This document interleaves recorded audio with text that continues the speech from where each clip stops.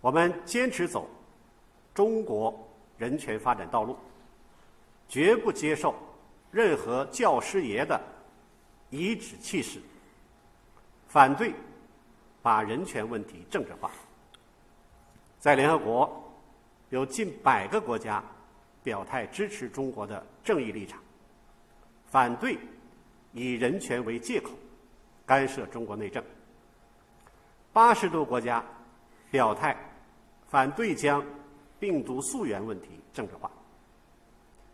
我们反对各种单边制裁、极限施压，绝不接受任何零和博弈和丛林法则。我们坚定奉行独立自主的和平外交政策。我们不畏强权，维护正义。坚决反对一切形式的霸权主义和强权政治。